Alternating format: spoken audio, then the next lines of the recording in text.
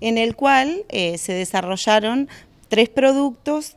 Uno es la guía que tiene en sus manos acá la compañera directora departamental, este, eh, otro de los productos es el listado de trabajos peligrosos, que por resolución 3344-2017 de INAU se aprobó y es el que está vigente.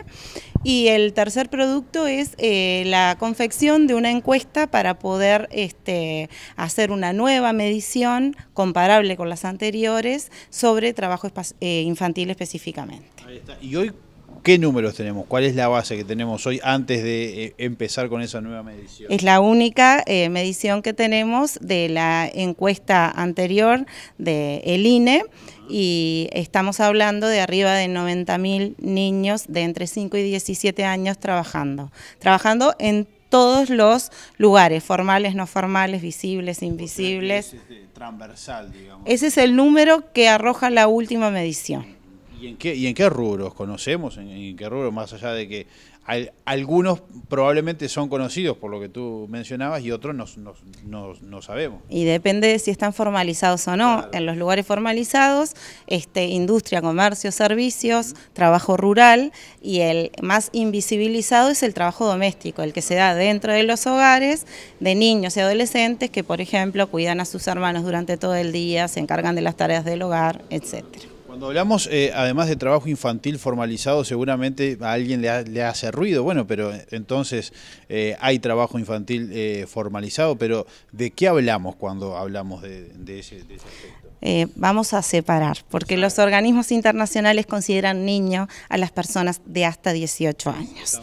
El Código de la Niñez y Adolescencia considera niño hasta 13 años y adolescente a partir de 13. El trabajo eh, en Uruguay está autorizado por ley a partir de los 15 años. Por debajo de 15 años, nosotros dentro de la inspección de trabajo consideramos que es trabajo infantil y está prohibido por ley, a, eh, no ser que surjan excepciones que únicamente las autoriza el directorio de INAU, entre 13 y 15 años para trabajos ligeros.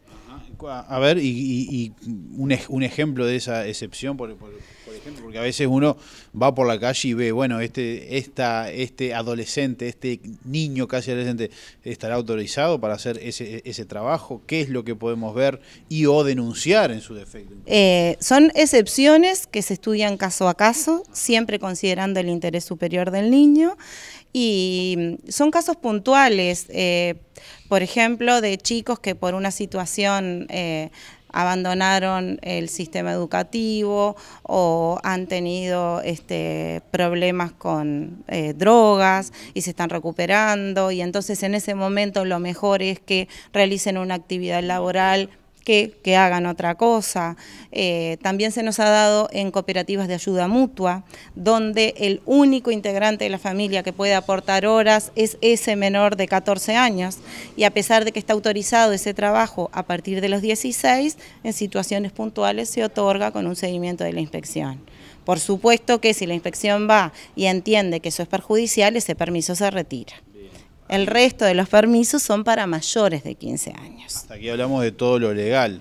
Ahora vamos a entrar en el otro terreno, en el complicado y en el que seguramente tiene algo que ver con la actividad que se está realizando en esta jornada. Sí, nosotros en esta jornada únicamente vamos a hablar del trabajo dentro de las peores formas de trabajo infantil este, que están determinadas a través del convenio 182 de la OIT. Eh, nosotros vamos a trabajar únicamente el trabajo considerado trabajo peligroso por las condiciones o por la naturaleza de la tarea. Porque el resto de las otras formas consideradas dentro de eh, el convenio son en nuestro país este, situaciones ilícitas, están penadas por la ley. Tráfico de personas, utilización de niños para conflictos armados, utilización de niños para eh, elaboración, distribución, comercialización de pornografía. Eh, bueno, ni que hablar, utilización de niños para la esclavitud.